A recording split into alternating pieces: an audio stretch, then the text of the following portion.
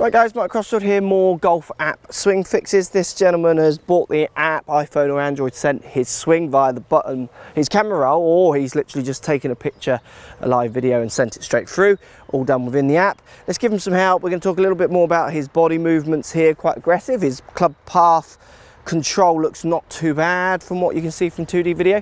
Let's see if we can get him thinking about the way he moves his body a little bit more, control his strike, um, maybe get a little bit more consistent results out of his golf shots. Let's get stuck in.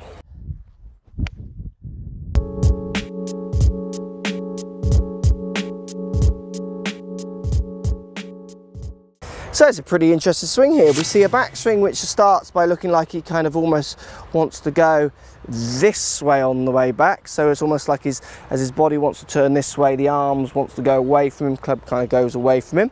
Also what we see from that as well is we see him actually moving forwards as he does this. He really moves his pressure on his feet much more towards his toes it looks like.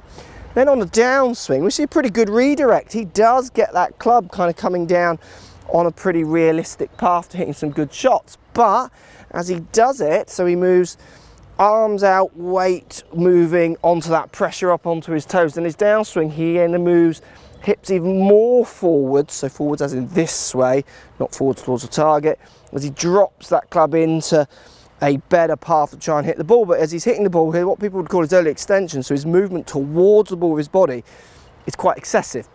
Now the only problem I see with people hit the ball like this is they can hit fantastically brilliant shots because he looks athletic and he does chuck the club at the ball looks like with a bit of force but they also, also can hit fantastically horrendous shots due to maybe catching at the neck or miss strikes heavies you know their their striking area can get a little bit out when they do connect because of the forces they're able to put through the shaft and what have you and he looks like he can it'll be some good shots in there. But let's see if we can think about making it more consistent.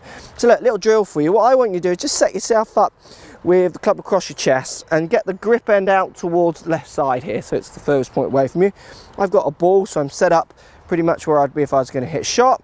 What I want you to do is just do a few back swings where you feel, or back turns with your body, where you feel the butt end of the club just moves inside of the ball line. So as I look back here, I can move, see it just moving inside.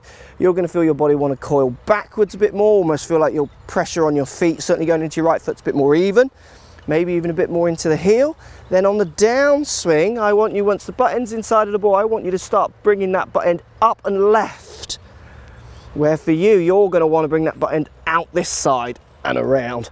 And then in your backswing, you're wanting to go pressure moving forwards, almost turning upwards, which brings the butt end of the club over the ball.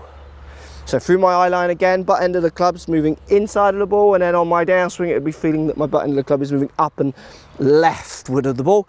As you do that, just try and feel where the pressure is through your feet going into that ground. You're going to feel that you don't need to go onto your toes so much, and as you come in to hit the ball, push out onto that toes moving this club this way. Now once you get the club in the hand, try and get the same feeling through your feet. But as you turn that club, so I would maybe think about moving my left shoulder now inside of the ball, which is almost what I did with the butt end of the club.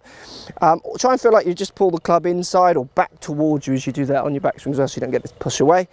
But really feel as you hit the shot that your connection with the ground feels less pressure onto those toes feels almost more even throughout, almost going into the heel of the right foot on the backswing.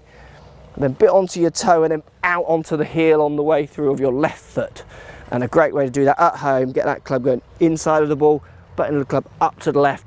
Feel your body turning, but at the same time, feel how that pressure is moving into the ground a little bit more even, almost in a little semicircle it'll feel like, down through the ground into your feet at the bottom there. And that helps, it's a good swing. Very good redirect, lots of good movements in there, but I do think your strike could go from fantastic to fantastically bad if you're not careful. Uh, let's get some bit more consistency. I think you'll hit some better shots. Post comments as always, guys. Thanks for watching. So if you like what's going on here, don't be afraid to subscribe to the channel. Also thumbs up the video, post comments. Love to hear what you guys got to say.